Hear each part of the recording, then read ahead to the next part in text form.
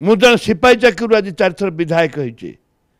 ଏ ପରିପ୍ରେକ୍ଷୀରେ ଏ ପରିପ୍ରେକ୍ଷୀରେ ମୁଁ କହିବାକୁ ଚାହେଁ ଯେ ଦୟାକରି ପୋଲିସ କର୍ମଚାରୀମାନଙ୍କର ମନୋବଳ ଓଡ଼ିଶା ପୋଲିସର କର୍ମଚାରୀମାନଙ୍କର ମନୋବଳକୁ ଭାଙ୍ଗି ନ ଦିଆଯାଉ।